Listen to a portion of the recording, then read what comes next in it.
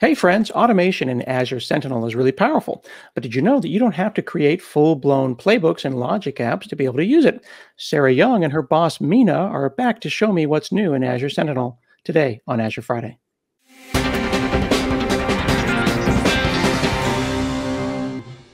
Hey friends, I'm Scott Hanselman and it's Azure Friday. I'm here with Sarah Young and we're going to learn all about Azure Sentinel. How are you?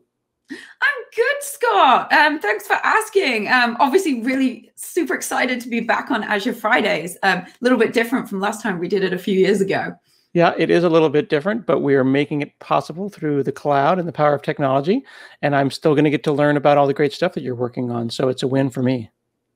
Yeah, me too. And it's always nice to catch up and see how everyone's going, um, seeing as uh, can't do things in person at the moment, but fingers crossed sometime soon. Indeed. So you've got a cool demo for me, and you're going to help me understand how to like, you know, better think about playbooks because I have a, a way in my mind that I think these things work, and you maybe have some better solutions for me. Yeah. So um, Azure Sentinel is um, it's been growing in leaps and bounds uh, since the last time uh, we talked about it. Last time I talked to you, it was still in public preview. It's now GA. Sentinel's about, it's coming up on its second birthday, if, if a product can have a birthday. So um, I wanted to talk to you because last time we talked about the automation, but it's grown up and evolved so much since then. I wanted to show you um, what's changed and how we can do automation even more easily now in Sentinel. Mm-hmm. Now, do we think about Sentinel primarily as an automation tool, primarily as a security? Like when I think Sentinel, it's like it's watching over me and it's thinking mm-hmm. about anything that could go wrong from a security perspective. It's primarily about security, right? Yeah. So Sentinel is two things. It's a SIEM or SIM, depending on what part of the world you're in. So security, information, and event management. Mm. Uh, and it's also a SOAR tool. So S O A R. So that's security, automation, um, Oh no, sorry. Security orchestration, automation, and response. I knew I'd get that wrong first time we did it. And so it does the um, monitoring side of things, but it can also do the remediation. Traditionally, these tended to be two separate products that you'd have to buy and integrate, but with Sentinel, you get it all in one. Interesting. Okay, so it's watching events and also potentially doing something about those events, and it's mm -hmm. all in mm-hmm. one single tool. Yes, that's right. Very cool. Okay.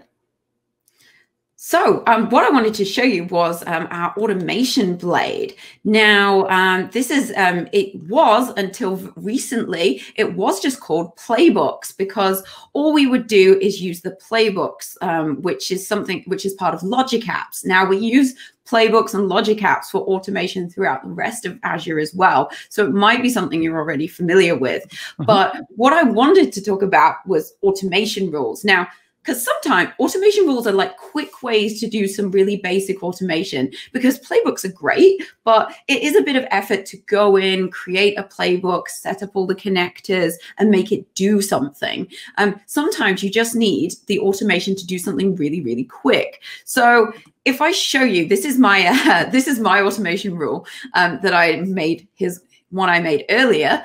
Um, so what we've got here is uh, an automation rule. Um, and basically what it will do is when an incident's created, I can pick an analytics rule. Now I have a rule called suspicious deployment of new playbooks. So what the rule's looking for is any new playbooks that have been deployed that maybe shouldn't have been.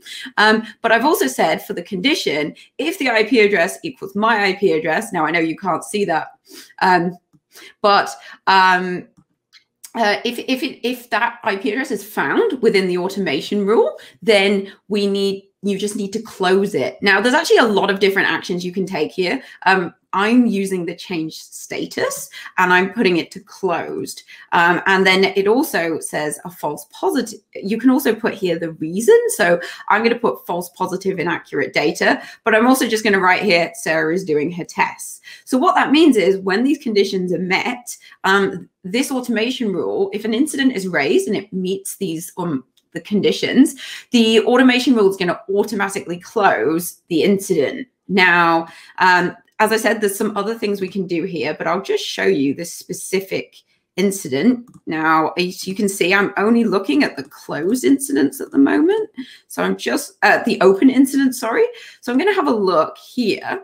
And if I open this up, you can see that I've actually triggered this incident, and mm-hmm. the uh, the automation rule has automatically closed it. And for this one, has put it's false positives. Sarah is doing her tests. Um, so it can be sometimes you might be using it for testing, or it might be a known issue in your environment because in in in a, in a perfect world, you wouldn't trigger an incident for something that wasn't an incident. But we know in real life, sometimes there might be a particular user or a host name or a host or something that's triggering your analytics rules. Um, sometimes we can filter that out in uh, the actual rule logic itself. Occasionally we can't. So we can actually use the automation rules to be able to um, just close it off. Um, yeah. I have had some customers do that. Yeah, I mean, if you've got a, a, particular search spider who's overly aggressive, that could kick something off. If the behavior mm-hmm. or the mm-hmm. structure of a URL that you're doing for some tests, if you're running some Playwright or um, Uh, selenium tests, it might cause behavior to make things look unusual. And and those would all be reasonable things where you would want to go and have an automation rule that says, no, that's cool. Yeah, exactly. And the other great thing we can do with automation rules is um, you can use it to kick off um, a new playbook. So, um, so um, if you need something that's actually more in depth um, and you need a playbook, which is more complicated automation, mm-hmm. you can actually say, hey, um, if we see this rule, so I'm just picking Dynamics 365, run a playbook. So, and then we can pick the playbook from here. Something that I wanted to point out because it catches out a load of people. You'll see here that when I uh, go to select a playbook, it says that I don't have permissions. Now, oh. um, the, this is something that catches a lot of people out. That's because to run playbooks, it's different permissions to running things within Sentinel. You need to have Logic Apps permissions. So uh, because this is something that um, it, happens a lot. You can actually just come straight into here and I just pick my uh, resource group, uh, my Sentinel one and apply, and it's going to automatically add those Logic App permissions. Uh, when it's done that, you can see if I go back now, these aren't grayed out, and I can select uh, one of these playbooks to add into the automation rule. Um, it's, uh, it's, we're trying to make it really nice and easy, but it's something that's caught a couple of uh, people out um, while this is new. So just wanted to show you how you can add those permissions in straight from the automation rule to make it really easy to run the playbook from from the rule. How were people doing this before? They were just making logic apps and kind of cobbling these these behaviors together. Ah, so um, that's a really good question, Scott. So what you can do, and you can still do this, but I'll, I'll show you, is that um, what you can do is on an analytics rule. Now, analytics rules are the rules that trigger incidents. So if we have a look at this uh, this analytics rule here, and this is still um, valid, we can do automated response. So what we can do here is we, we can actually add um, a playbook directly to the rule and that mm-hmm. might and that's still a completely valid way of doing things if um, if you want to just automatically run the playbook straight from the rule trigger you can but what the automation rules allow you to do is maybe do some filtering saying you know only run this playbook if these conditions are met so it makes mm-hmm. it a mm. little bit more smart rather than a blanket run this playbook run this playbook run this playbook yeah so you can certainly still go in here in the configuration of your analytics rule and do that and and you can see here, actually, you can add an automation rule in here as well. It's another way to do the same thing I was yeah. showing you before, because you can see here we have the automation rule that I have added. So yeah, um, it's um, a slightly different way of doing it. The old way of doing it is still perfectly valid, but you can put a little, a few more smarts in it, which is yeah. uh, always useful. Yeah, I think that, that, that having it up front in, in, in the main blade makes a lot more sense, and the option for filtering, whether you choose to use it or not, has a lot more value. So I can definitely see why I would want to move my my stuff over to the new way.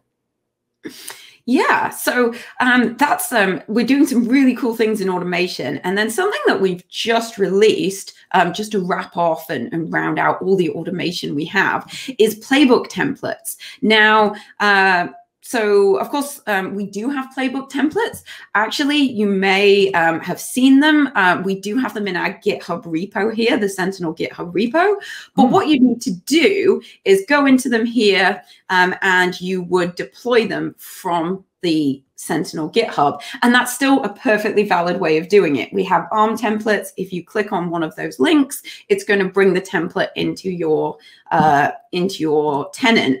But what we have with everything else in Sentinel is we have galleries within the product itself. So we have it for our workbooks, we have it for analytics rules, but we didn't have it for playbooks. But now I'm really pleased to say we do have a playbooks gallery. So um, all of those things that you see in the GitHub now are in uh, the UI itself. So um, you can see here that we can. Uh, um, I've already got one of them. I've deployed it, this um, block Azure AD user. But here you can see we've got advanced ServiceNow Teams integration. So it gives you a description of the playbook. It tells you the different connectors, the Logic App connectors we're going to use, and it will also give you an idea of some of the prerequisites you need as well. Um, so for this one, I'm just going to deploy here the block um, AAD user for an incident um, because we do have different triggers. We have incident triggers and alert triggers. They are subtly different. Probably not the time to explain exactly right now uh, the difference because I'll be here for a long time. But um, you can see when I click um, to go into the deployment, um, I pick my subscription, my resource group, um, my region. I can change the playbook name if I want to. We can turn on diagnostics logs. Um, that allows us to monitor the, the health of the, the playbook. Uh, that is something that definitely some customers are interested in being alerted on if their um, log analytics, um, if, if, sorry, if their, um, their logic app isn't working. Mm-hmm. And then uh, we add the connections here. Um, some of them are um, added automatically. So we've got AD, uh, and Sentinel. Some you do need to create after your deployment. It is a bit context sensitive. Um, it'll, it'll tell you in the UI. And then like every other, um, every single other Azure resource in the world, um, we will create it. And then it's going to take me to the Logic Apps designer. Um, and uh, if we give it a second, it will send me over there. And then we can see what's actually been deployed into the workspace. Um, it's really cool to see how different products in Azure build on top of different products in Azure. And it's very seamless how they all build on top of each other. Exactly. So we can see here we've got now our logic app. It's been created um, mm -hmm. and we've got all the different steps. Um, so again, just a really nice, easy way to deploy templates that have been created. Uh, they've all been reviewed by Microsoft Engineering. Some of them have been created by engineering. Some come from our partners, but they're a really great way to start getting used to and getting familiar with how you can do some uh, some automation in Sentinel. And yeah, that's uh, that's probably everything I've got to show you this time, Scott. Uh, I could go on for a long time, but I should probably leave it there. Well, I appreciate that. Well, the folks who watch Azure Friday know that after the episode, they can go and check out the docs, they can check out the tutorial, they can check out the GitHub repository and take a look at those uh, run books and see the code behind those uh, run books. And uh, this has been super helpful. I'm glad that a lot of cool stuff has been happening in the Azure Sentinel space. Yeah, it, uh, always lots of stuff ha happening. We uh, it's always worth keeping an eye on it because it's still a pretty young product um, in in Azure terms. So there's always lots of cool things coming, and uh, yeah, e even sometimes I struggle to keep up. And I work with Sentinel every day, so very cool. Well, I've been learning all about how to automate my security response with Azure Sentinel today on Azure Friday. Hey, thanks for watching this episode of Azure Friday. Now I need you to like it, comment on it, tell your friends, retweet it. Watch more Azure Friday.